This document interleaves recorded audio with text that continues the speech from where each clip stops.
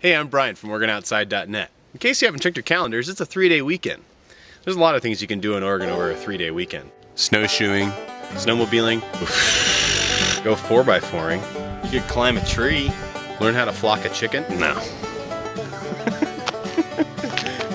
Ride a horse, trim your fingernails, go skiing at Mount Hood Meadows. You could go to Crater Lake, you could go camping in the Alvord Desert, sit in the hot springs. You could ski around Crater Lake.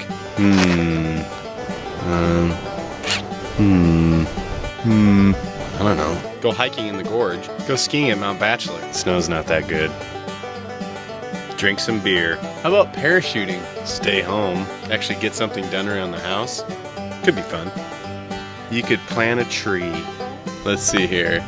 You could fashion a hat out of pine needles. Uh. Finally wash your car. What else could you do? Start growing some indoor herbs.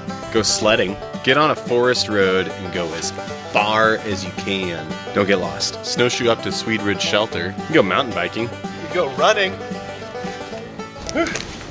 You see, there's a lot of things you can do in Oregon. But I know today, I think I need a little redneck relief. It's time to have a little fun.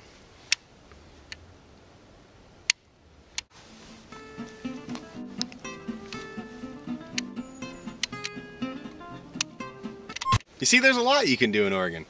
But I know today, I need a little redneck relief.